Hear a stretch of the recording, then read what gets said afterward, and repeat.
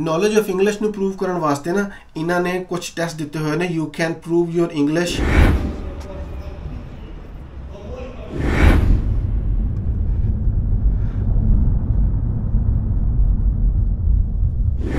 ਮੈਨੂੰ ਇਹ ਜੀ ਜੈਕਟਾਂ ਬਹੁਤ ਪਸੰਦ ਨੇ।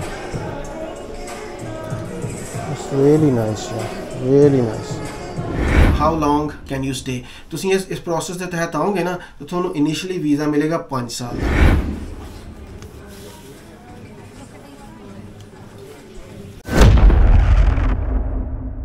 ਅਸਲਾਮ ਵਾਲੇਕਮ welcome back to my channel ਅੱਜ 4 ਨਵੰਬਰ 2023 ਹੈ। ਸੈਚਰਡੇ ਦਾ ਦਿਨ ਆ ਔਰ ਅੱਜ ਮੇਰਾ ਮੂਡ ਆ ਐਕਸਟ੍ਰੀਮਲੀ ਹੈਲਦੀ ਖਾਣੇ ਤੋਂ ਸ਼ੁਰੂ ਕਰਨ ਵਾਸਤੇ। ਮੈਂ ਜਨਾਬ, ਮੈਂ ਸ਼ੁਰੂ ਕਰ ਰਿਹਾ ਵੀਟਾਬਿਕਸ ਵਿਦ ਫਿਊ ਕਟੀਆਂ ਹੋਈਆਂ ਖਜੂਰਾਂ ਇਨ ਇਟ ਆ ਬ੍ਰੈਕਫਾਸਟ ਕਰਦੇ ਆ ਫਿਰ ਇੱਕ ਮਿਸ਼ਨ ਇੰਪੋਸੀਬਲ 93 ਹੈ, ਉਹ ਅਚੀਵ ਕਰਨਾ। ਆਨਲਾਈਨ ਇੱਕ ਚੀਜ਼ ਖਰੀਦੀ ਸੀਗੀ, ਉਹਨੂੰ ਆਨਲਾਈਨ ਰਿਟਰਨ ਕਰਨ ਵਾਸਤੇ ਕੋਈ ਸਬਬ ਨਹੀਂ ਬਣ ਰਿਹਾ ਹੈਗਾ ਤੇ ਸਟੋਰ ਜਾ ਕੇ ਉਹਨੂੰ ਰਿਟਰਨ ਕਰਨ ਦੀ ਕੋਸ਼ਿਸ਼ ਕਰਾਂਗੇ। ਬ੍ਰੈਕਫਾਸਟ ਕਰ ਲਈਏ, ਫਿਰ ਉਹ ਕੰਮ ਕਰਦੇ ਆ ਔਰ ਉਸ ਤੋਂ ਬਾਅਦ at the end of this video somewhere in in the middle ਕੁਝ ਤੁਹਾਨੂੰ ਵੀਜ਼ਿਆਂ ਬਾਰੇ ਵੀ ਇਨਫੋਰਮੇਸ਼ਨ ਦਵਾਂਗਾ ਕਿ ਯੂਕੇ ਦੇ ਵਿੱਚ ਕਿਹੜੇ ਵੀਜ਼ੇ ਦੇ ਥਰੂ ਤੁਸੀਂ ਆ ਸਕਦੇ ਹੋ ਅਗਰ ਤੁਸੀਂ ਇੰਟਰਸਟਿਡ ਹੋ। ਸੋ ਲੈਟਸ ਗੈਟ ਗੋਇੰਗ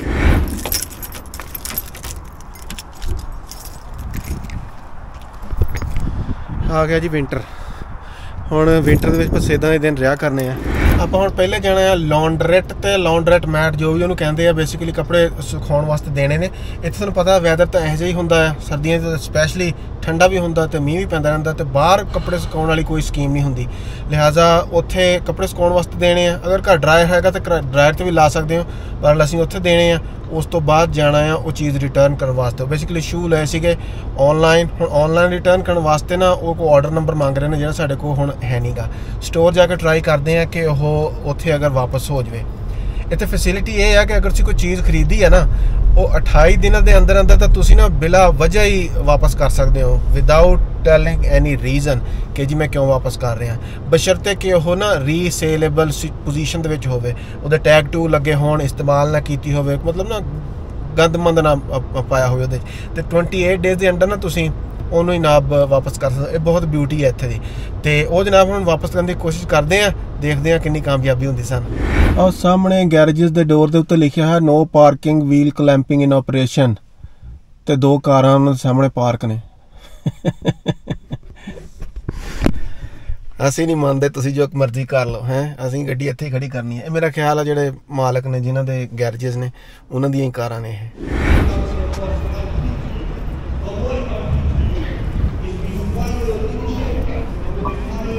ਇਹ ਹੈ ਜੀ ਸਾਡਾ ਰੋਸਡੇਲ ਦਾ ਨਵਾਂ town centre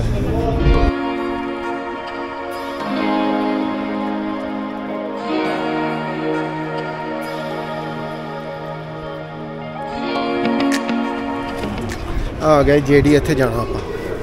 let's try hour luck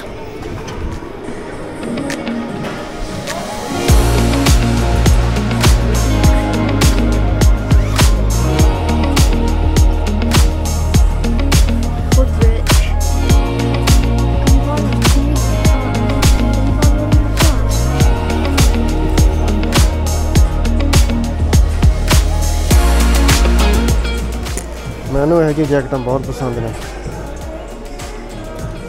it's really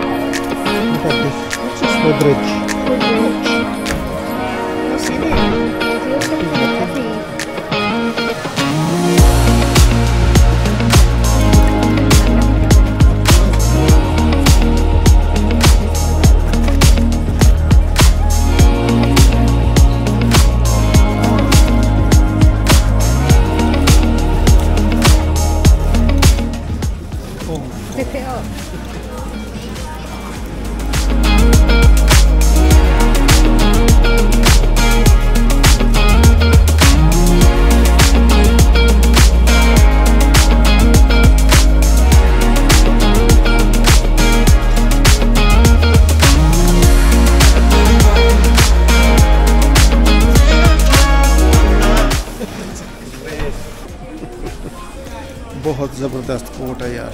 ਇਹ ਕੋਟ ਪਾ ਕੇ ਨਾ ਜਾਂ ਖਰੀਦ ਕੇ, ਮੈਨੂੰ ਨਾਰਥ ਪੋਲ ਕਿਧਰੇ Finland Santa Claus village move ਹੋਣਾ ਪੈਣਾ। ਬਿਊਟੀਫੁਲ ਕੋਟ ਹੈ ਬੋਟ ਇਟ ਬੜਾ ਅੱਛਾ ਕੋਟ ਸੀਗਾ। ਪਲਾਨ ਤਾਂ ਨਹੀਂ ਸੀ ਹੈਗਾ ਲੈਣ ਦਾ but when I tried it on it turned out to be really nice ਯਾਰ। ਜਿੱਦਾਂ ਮੈਂ ਪਹਿਲੇ ਕਿਹਾ ਨਾ, ਇਹ ਕੋਟ ਲੈ ਕੇ ਹੁਣ ਮੇਰਾ ਖਿਆਲ ਹੈ ਮੈਨੂੰ ਕਿਧਰੇ ਨਾ ਨਿਕਲ ਜਾਣਾ ਚਾਹੀਦਾ ਫਿਨਲੈਂਡ ਕੈਨੇਡਾ ਵਾਲੀ ਸਾਈਡ ਤੇ। ਮੈਂ ਰੋਂਦਾ ਰਹਿਣਾ ਯਾਰ ਕਿ ਇੱਥੇ ਹੁਣ ਠੰਡ ਨਹੀਂ ਪੈਂਦੀ, ਲੇਕਿਨ ਠੰਡ ਇੱਥੇ ਇੱਥੇ ਹੀ ਪੈਣ ਲੱਗ ਪਈ ਅੱਲਾ ਕਰੇ ਕਿ ਪਵੇ, ਚੰਗੀ ਟਿਕਾ ਕੇ ਪਵੇ ਐਸਾ ਆਪਾਂ ਗੱਪਾਂ ਸ਼ੱਪਾਂ ਤਾਂ ਮਾਰਦੇ ਹੀ ਰਹਿੰਦੇ ਆ ਅੱਜ ਮੈਂ ਸੋਚਿਆ ਕਿ ਤੁਹਾਨੂੰ ਯੂਕੇ ਵਰਕ ਵੀਜ਼ਾ ਦੇ ਮੁਤਲਕ ਕੁਝ ਮਾਲੂਮਾਤ ਫਰਾਹਮ ਕੀਤੀ ਜਾਵੇ। ਅਗਰ ਤੁਸੀਂ ਯੂਕੇ ਆਉਣਾ ਚਾਹੁੰਦੇ ਹੋ ਯੂਕੇ ਆ ਕੇ ਕੰਮ ਕਰਨਾ ਚਾਹੁੰਦੇ ਹੋ, ਤੇ ਇਹ ਵੀਡੀਓ ਤੁਹਾਡੇ ਵਾਸਤੇ ਕਾਫੀ ਯੂਸਫੁਲ ਹੋ ਸਕਦੀ ਹੈ। ਗੱਲ ਸ਼ੁਰੂ ਕਰਨ ਤੋਂ ਪਹਿਲੇ ਮੈਂ ਤੁਹਾਨੂੰ ਇਹ ਦੱਸ ਦਵਾਂ ਕਿ ਮੈਂ ਕੋਈ ਸਰਟੀਫਾਈਡ ਜਾਂ ਕੁਆਲੀਫਾਈਡ ਇਨਸਟ੍ਰਕਟਰ ਜਾਂ ਇਮੀਗ੍ਰੇਸ਼ਨ ਐਡਵਾਈਜ਼ਰ ਨਹੀਂ ਹੈਗਾ। ਮੈਂ ਇੱਕ ਪ੍ਰੋਸੈਸ ਚੋਂ ਗੁਜ਼ਰਿਆ ਹੋਇਆ, ਇਸ ਲਈ ਮੈਨੂੰ ਕੁਝ ਚਾਰ ਚੀਜ਼ਾਂ ਦਾ ਪਤਾ ਆ। ਉਸ ਦੇ ਨਾਲ ਨਾਲ ਮੈਂ ਜਿਹੜੀ ਜਿਹੜੀ ਚੀਜ਼ ਤੁਹਾਡੇ ਨਾਲ ਸ਼ੇਅਰ ਕਰਾਂਗਾ, ਉਹ ਤੁਹਾਨੂੰ ਮੈਂ ਦੱਸਾਂਗਾ ਕਿ ਇਨਫੋਰਮੇਸ਼ਨ ਕਿੱਥੋਂ ਲਈ ਹੈ। ਲਿਹਾਜ਼ਾ ਤੁਸੀਂ ਉਹਦੀ ਅਥੈਂਟਿਸਿਟੀ ਔਰ ਵੈਲਿਡਿਟੀ ਨੂੰ ਵੀ ਅਪਰੂਵ ਕਰ ਸਕੋ। ਯੂਕੇ ਵੀ ਉਹਨਾਂ ਚੰਦ ਮਮਾਲਕ ਦੇ ਵਿੱਚੋਂ ਆ, ਜਿਨ੍ਹਾਂ ਨੂੰ ਹਮੇਸ਼ਾ ਹੀ ਵਰਕਫੋਰਸ ਦੀ ਜ਼ਰੂਰਤ ਰਹਿੰਦੀ ਆ। ਅਗਰ ਤੁਸੀਂ ਕਿਸੇ ਵੀ ਸ਼ੋਬੇ ਦੇ ਵਿੱਚ ਸਕਿਲਡ ਵਰਕਰ ਹੋ ਡਾਕਟਰ ਇੰਜੀਨੀਅਰ ਅਕਾਊਂਟੈਂਟ ਹੋਰ ਕਿਸੇ ਸ਼ੋਬੇ ਦੇ ਵਿੱਚ, ਮਤਲਬ ਇਹਨਾਂ ਪ੍ਰੋਫੈਸ਼ਨਲ ਕੈਟਾਗਰੀਜ਼ ਦੇ ਵਿੱਚ ਨਹੀਂ, ਕਿਤੇ ਮਤਲਬ ਦੂਸਰੀਆਂ categories like electrician plumber builder ਉਹਨਾਂ ਦੇ ਵਿੱਚ ਤੁਸੀਂ ਕੁਆਲੀਫਾਈਡ ਹੋ ਤੇ ਤਾਂ ਵੀ ਤੁਸੀਂ ਇੱਥੇ ਆ ਕੇ ਕੰਮ ਕਰ ਸਕਦੇ ਹੋ। ਅੱਜ ਦੀ ਵੀਡੀਓ ਦੇ ਵਿੱਚ ਮੈਂ ਜਿਹੜੇ ਵੀਜ਼ੇ ਤੇ ਫੋਕਸ ਕਰਾਂਗਾ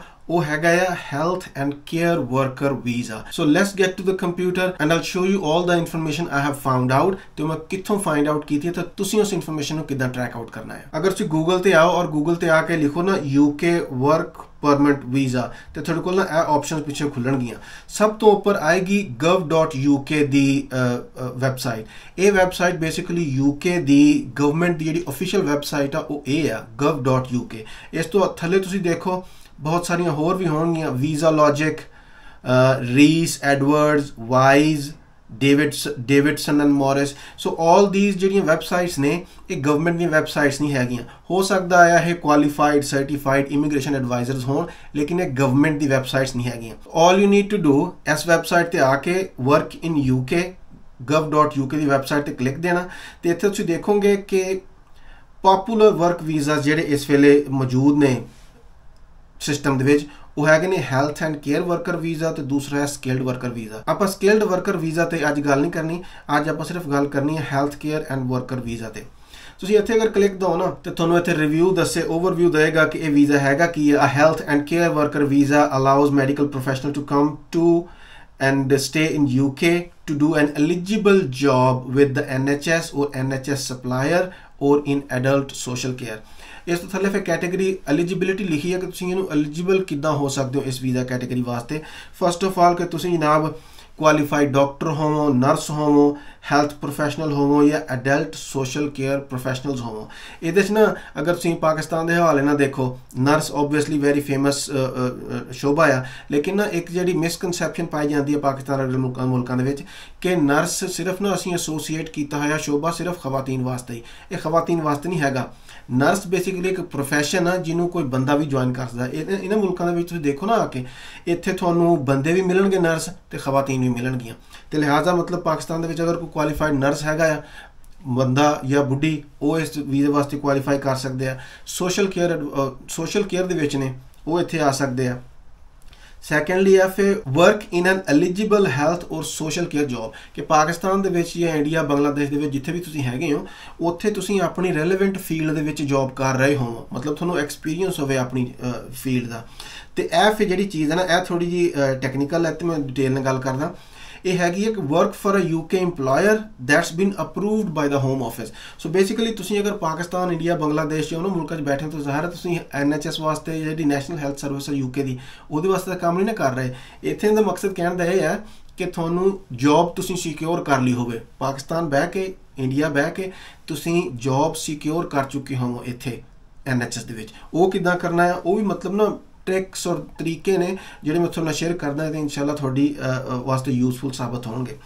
ਫਿਰ ਜਿਹੜੇ ਉਸ ਤੋਂ ਬਾਅਦ ਪੁਆਇੰਟ ਹੈ ਉਹ ਹੈਗਾ ਆ have a certified have a certificate of sponsorship from your employer with information about the role you have been offered in the UK so basically UK ਦੇ ਵਿੱਚ ਹੁੰਦਾ ਕੀ ਹੈ ਕਿ UK ਦੇ ਵਿੱਚ ਹਰ EMPLOYER ਬਾਹਰਲੇ ਮੁਲਕਾਂ ਚੋਂ ਵਰਕਫੋਰਸ ਨੂੰ ਨਹੀਂ ਬੁਲਾ ਸਕਦਾ ਇੱਕ ਸਪਾਂਸਰਸ਼ਿਪ ਮਿਲਦੀ ਹੈ UK ਬਾਰਡਰ ਏਜੰਸੀ ਦੀ ਤਰਫੋਂ ਜਿਹੜੀ ਕਿ after a lot of investigation analysis ਤੇ ਬਹੁਤ ਸਾਰੇ ਰੂਲਸ ਐਂਡ ਰੈਗੂਲੇਸ਼ਨਸ ਫਿਲ ਕਰਕੇ ਕਿਸੇ EMPLOYER ਨੂੰ ਦਿੱਤੀ ਜਾਂਦੀ ਹੈ ਕਾਫੀ ਕਾਫੀ ਲੰਬਾ ਪ੍ਰੋਸੈਸ ਹੈ ਉਸ EMPLOYER ਵਾਸਤੇ ਤੇ ਉਸ ਪ੍ਰੋਸੈਸ ਦੇ ਵਿੱਚੋਂ ਗੁਜ਼ਰ ਕੇ ਨਾ, ਹਰ ਜਦੋਂ ਕੋਈ EMPLOYER ਆਉਂਦਾ ਹੈ, ਉਸ ਐਪਲੀਕੇਸ਼ਨ ਭਰਦਾ ਹੈ ਫੀਸਾਂ ਭਰਦਾ ਹੈ ਤੇ ਆਲ ਦੋਸ ਰਿਕੁਆਇਰਮੈਂਟਸ ਨੂੰ ਫਿਲ ਆਊਟ ਕਰਦਾ ਹੈ, ਫਿਰ UKBA ਜਿਹੜਾ UK ਬਾਰਡਰ ਏਜੰਸੀ ਹੈ, ਉਹਨੂੰ ਸਪਾਂਸਰਸ਼ਿਪ ਦਿੰਦੀ ਆ ਤੇ ਸਿਰਫ ਉਹ ਕੰਪਨੀਆਂ ਜਿਨ੍ਹਾਂ ਦੇ ਕੋਲ ਸਪਾਂਸਰਸ਼ਿਪ ਹੈਗੀ ਆ, ਉਹ ਬਾਹਰਲੇ ਮੁਲਕਾਂ ਚੋਂ ਬੰਦੇ ਬੁਲਾ ਸਕਦੀਆਂ ਨੇ। ਤੇ ਇੱਥੇ ਉਹਨਾਂ ਦਾ ਮਕਸਦ ਕਹਿਣ ਦਾ ਇਹ ਹੈ ਕਿ ਤੁਸੀਂ ਜ਼ਾਹਿਰ ਜੌਬ ਸਿਕਿਉਰ ਕਰ ਲਈ ਹੋਵੇ, ਕਿਸੇ ਐਸੇ ਕੰਪਨੀ ਕੋਲ ਜਿਹਦੇ ਕੋਲ ਸਪਾਂਸਰ ਦਾ ਲੈਟਰ ਹੋ ਸਪਾਂਸਰਸ਼ਿਪ ਦੀ ਤੁਸੀਂ ਕਹਿ ਲਓ ਕਿ ਅਥਾਰਟੀ ਹੋਵੇ ਔਰ ਉਹ ਜ਼ਾਹਿਰ ਹੈ ਜੀ ਤੁਹਾਨੂੰ ਜੌਬ ਦੇਗਾ ਫਿਰ ਤੁਹਾਨੂੰ ਇੱਕ ਅਪਰੂਵਡ ਲੈਟਰ ਦੇਗਾ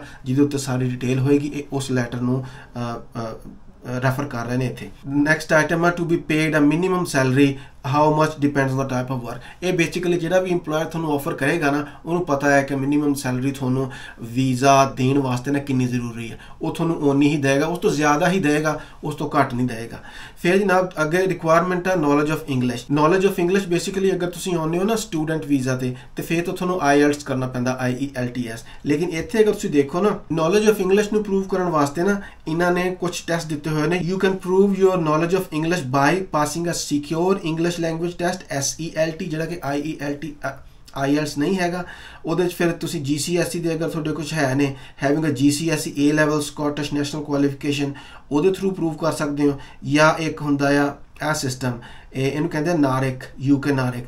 ਬੇਸਿਕਲੀ ਇਹਦੇ ਵਿੱਚ ਨਾ ਇਕੁਇਵਲੈਂਸੀ ਟਾਈਪ ਆਫ ਚੀਜ਼ ਹੁੰਦੀ ਹੈ ਕਿ ਤੁਸੀਂ ਜੋ ਵੀ ਕੁਆਲੀਫਿਕੇਸ਼ਨ ਕੀਤੀ ਹੋਈ ਹੈ ਨਾ ਆਪਣੇ ਮੁਲਕਾਂ ਦੇ ਵਿੱਚੋਂ, ਉਹ S N A R I ਸੀ ਨੂੰ ਤੁਸੀਂ ਅਪਲਾਈ ਕਰੋ, ਉਹ ਨਾ ਫਿਰ ਵੈਲੀਡੇਟ ਕਰਦੀ ਹੈ ਕਿ ਯੂਕੇ ਦੇ ਇੱਕ ਸਰਟਨ ਸਟੈਂਡਰਡ ਦੇ ਬਰਾਬਰ ਹੈਗੀ ਹੈ ਜਾਂ ਨਹੀਂ। ਉਸ ਤੋਂ ਬਾਅਦ ਅਗਰ ਤੁਸੀਂ ਬੈਕਸਟ ਜਾਓ ਤੇ ਫਿਰ ਹੈਗਾ ਜੀ how long can you stay ਤੁਸੀਂ ਇਸ ਇਸ ਪ੍ਰੋਸੈਸ ਦੇ ਤਹਿਤ ਆਓਗੇ ਨਾ, ਤਾਂ ਤੁਹਾਨੂੰ ਇਨੀਸ਼ੀਅਲੀ ਵੀਜ਼ਾ ਮਿਲੇਗਾ 5 ਸਾਲ ਦਾ। ਉਹਨੂੰ 5 ਸਾਲ ਬਾਅਦ ਤੁਸੀਂ ਰੀਨਿਊ ਕਰਾ ਸਕਦੇ ਹੋ, ਲੇਕਿਨ ਆਬਵੀਅਸਲੀ ਜਿਹੜਾ ਬੰਦਾ ਆਉਂਦਾ ਹੈ ਉਹ ਇਸ ਚੱਕਰਾਂ 'ਚ ਨਹੀਂ ਹੁੰਦਾ ਕਿ ਉਹਨੇ ਸਾਰੀ ਜ਼ਿੰਦਗੀ ਰੀਨਿਊ ਹੀ ਕਰਾਈ ਜਾਣੇ ਆਪਣੇ ਵੀਜ਼ੇ ਤੇ ਰੂਲ ਇਹ ਹੈ ਕਿ ਤੁਹਾਨੂੰ ਪਹਿਲੀ ਦਫਾ ਜਦੋਂ ਤੁਸੀਂ ਆਓਗੇ, ਤੁਹਾਨੂੰ 5 ਸਾਲ ਦਾ ਮਿਲੇਗਾ ਵੀਜ਼ਾ ਤੇ 5 ਸਾਲ ਤੋਂ ਬਾਅਦ ਫਿਰ ਤੁਸੀਂ ਇੱਥੇ ਅਗਲੇ ਸਟੈਪ ਤੇ ਆਉਣਾ ਹੈ। 5 ਸਾਲ ਤੋਂ ਬਾਅਦ ਨਾ you will have an option to apply for permanent residency ਉਹ ਬੇਸਿਕਲੀ ਉਹਨੂੰ ਇੱਥੇ ਯੂਕੇ ਦੇ ਵਿੱਚ ਕਹਿੰਦੇ ਆ indefinite leave to remain so basically ਤੁਸੀਂ 5 ਸਾਲ ਪੂਰੇ ਕਰ ਲੋਗੇ ਨਾ, ਉਸੇ EMPLOYER ਦੇ ਨਾਲ ਜਿਹਦੇ ਤੁਸੀਂ ਆਏ ਹੋ, ਕਿਉਂਕਿ ਤੁਹਾਡਾ ਵੀਜ਼ਾ ਜਿਹੜਾ ਹੋਏਗਾ ਨਾ, ਉਹ ਕੰਡੀਸ਼ਨਲ ਹੋਏਗਾ ਕਿ ਤੁਸੀਂ ਉਸੇ EMPLOYER ਦੇ ਨਾਲ ਕੰਮ ਕਰਨਾ ਹੈ। ਤੁਸੀਂ ਤਾਂ 5 ਸਾਲ ਉਹਦੇ ਨਾਲ ਕੰਮ ਕਰ ਲਓਗੇ, ਫਿਰ ਤੁਹਾਡੇ ਕੋਲ ਆਪਸ਼ਨ ਹੋਏਗੀ ਪੀਆਰ ਵਾਸਤੇ ਅਪਲਾਈ ਕਰਨ ਵਾਸਤੇ। ਜਦੋਂ ਤੁਹਾਨੂੰ ਪੀਆਰ ਮਿਲ ਗਈ ਦੈਨ ਤੁਸੀਂ ਫ੍ਰੀ ਹੋ ਉਸ EMPLOYER ਨੂੰ ਛੱਡ ਕੇ ਕਿਸੇ ਹੋਰ ਜਾਣ ਵਾਸਤੇ। ਮਤਲਬ ਤੁਸੀਂ ਅਗਰ ਜੌਬ ਸਵਿਚ ਕਰਨਾ ਚਾਹੁੰਦੇ ਹੋ, ਤੁਸੀਂ ਇਨਡੈਫੀਨਿਟ ਲੈ ਕੇ ਫਿਰ ਕਰ ਸਕਦੇ ਹੋ। ਤੇ ਫਿਰ ਹੁਣ ਰੂਲ ਇਹ ਹੈ ਕਿ ਇਨਡੈਫੀਨਿਟ ਤੁਹਾਨੂੰ ਮਿਲ ਗਿਆ ਨਾ, ਅੱਜ ਮਿਲ ਗਿਆ ਅਗਰ, ਤੇ ਤੁਸੀਂ ਕੱਲ ਹੀ ਬ੍ਰਿਟਿਸ਼ ਨੈਸ਼ਨੈਲਿਟੀ ਵਾਸਤੇ ਅਪਲਾਈ ਕਰ ਸਕਦੇ ਹੋ। ਪਹਿਲੇ ਹੁੰਦਾ ਸੀਗਾ ਤੁਹਾਨੂੰ ਇਨਡੈਫੀਨਿਟ ਲੈ ਕੇ, ਮਤਲਬ ਪੀਆਰ ਜਿਹੜੀ ਆ ਪੀਆਰ ਲੈ ਕੇ ਤੁਹਾਨੂੰ 1 ਸਾਲ ਵੇਟ ਕਰਨਾ ਪੈਂਦਾ ਸੀ 1 ਸਾਲ ਬਾਅਦ ਤੁਸੀਂ ਅਪਲਾਈ ਕਰ ਸਕਦੇ ਸੀ ਨੈਸ਼ਨੈਲਿਟੀ ਵਾਸਤੇ।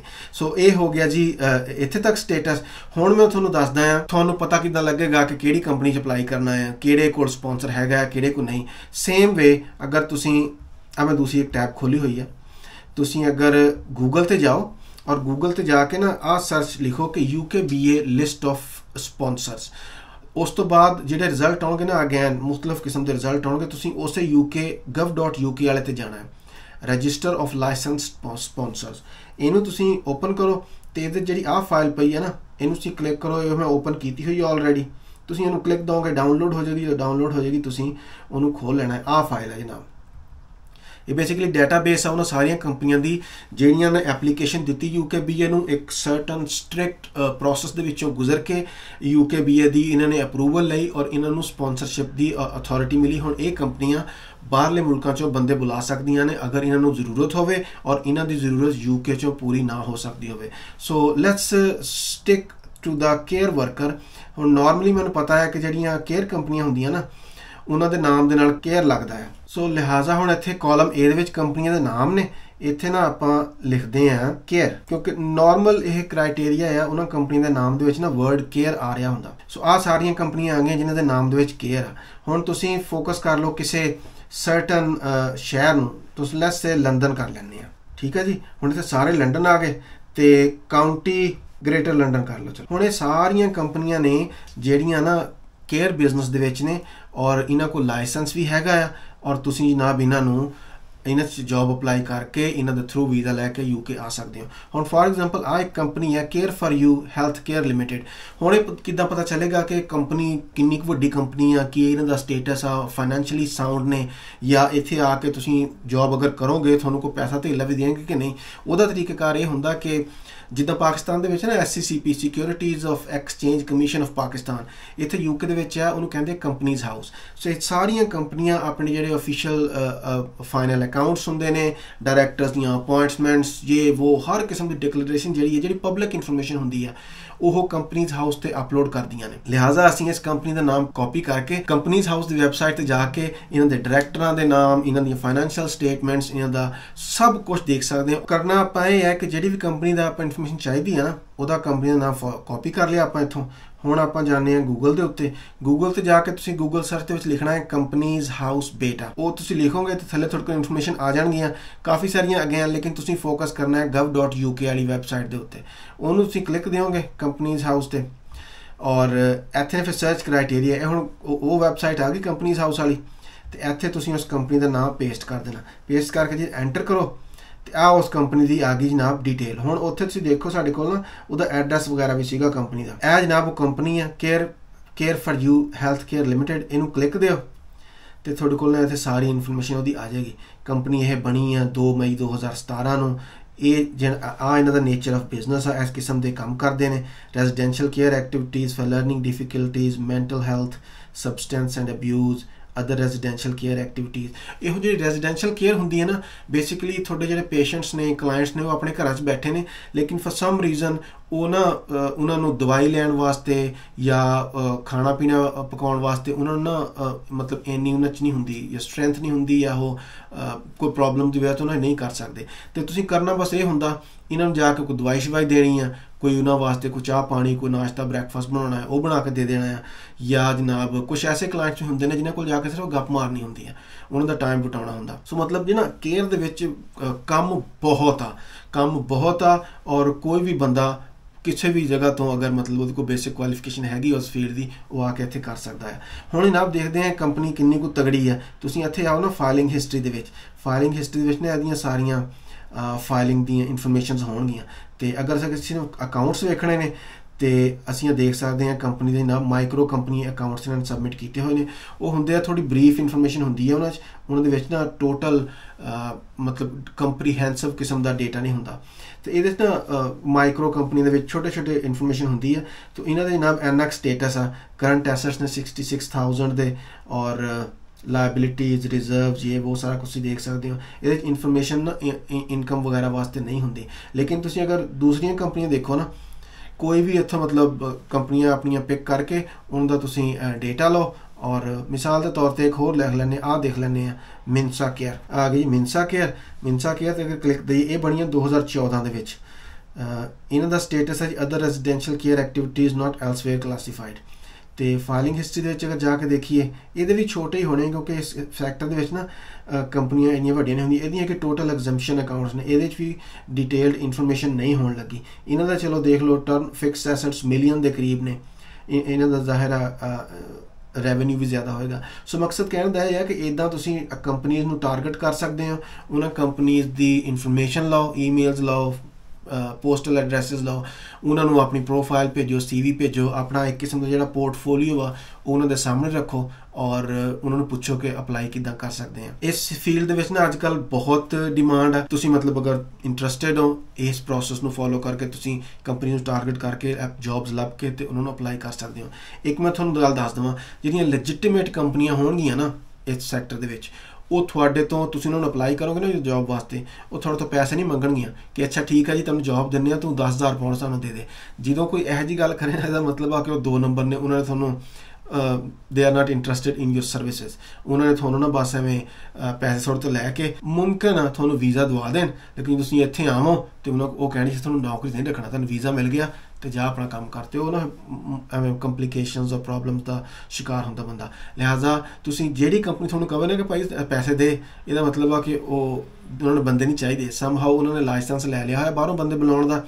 ਔਰ ਉਹ ਚਾਹ ਰਹੇ ਨੇ ਕਿ ਬਸ ਨਾ ਹੁਣ ਐਦਾਂ ਲੋਕਾਂ ਤੋਂ ਪੈਸੇ ਕਮਾਈਏ। ਜਿਹੜੀ ਕੰਪਨੀ ਲੈਜਿਟਿਮੇਟ ਹੋਏਗੀ, ਉਹਨਾਂ ਨੂੰ ਬੰਦੇ ਚਾਹੀਦੇ ਹੋਣਗੇ, ਉਹਨੂੰ ਤੁਸੀਂ ਅਪਲਾਈ ਕਰੋਗੇ, ਉਹ ਜੈਨੂਅਲੀ ਤੁਹਾਡੇ ਚ ਇੰਟਰਸਟਿਡ ਹੋਏਗੀ, ਤੁਹਾਡੀ ਇਨਫੋਰਮੇਸ਼ਨ ਤੁਹਾਡੇ ਤੋਂ ਮੰਗੇਗੀ। ਜਿੱਦਾਂ ਇੱਕ ਨਾਰਮਲ ਜੌਬ ਐਪਲੀਕੇਸ਼ਨ ਦੇ ਵਿੱਚ ਹੁੰਦਾ ਹੈ ਲੇਕਿਨ ਤੁਹਾਡੇ ਤੋਂ ਪੈਸੇ ਉਹ ਕਦੇ ਵੀ ਨਹੀਂ ਮੰਗੇਗੀ। ਤੋ ਜੀ, ਉਮੀਦ ਕਰਦਾ ਕਿ ਤੁਹਾਨੂੰ ਇਹ ਵੀਡੀਓ ਕੋ ਮਾੜੀ ਮੋਟੀ ਯੂਸਫੁਲ ਲੱਗੀ ਹੋਏਗੀ। ਅਗਰ ਤੁਹਾਨੂੰ ਕੋਈ ਮਜ਼ੀਦ ਇਨਫੋਰਮੇਸ਼ਨ ਚਾਹੀਦੀ ਹੈ ਇਸ ਕਿਸਮ ਦੇ ਪ੍ਰੋਸੈਸ ਦੇ ਵਿੱਚ, ਤੇ ਮੈਂ ਅਗਰ ਹੈਲਪ ਕਰ ਸਕਦਾ ਹੋਇਆ, ਮੈਂ ਆਬਵੀਅਸਲੀ ਉੱਤੇ ਕੋਈ ਰਿਸਰਚ ਵਗੈਰਾ ਕਰਕੇ ਤੁਹਾਡੇ ਵਾਸਤੇ ਵੀਡੀਓ ਬਣਾਵਾਂਗਾ। ਆਪਣਾ ਬਹੁਤ ਸਾਰਾ ਖਿਆਲ ਰੱਖਿਓ। ਤੁਹਾਡੇ ਨਾਲ ਮੁਲਾਕਾਤ ਹੋਗੀ ਅਗਲੀ ਵੀਡੀਓ ਦੇ ਵਿੱਚ। ਉਦੋਂ ਤੱਕ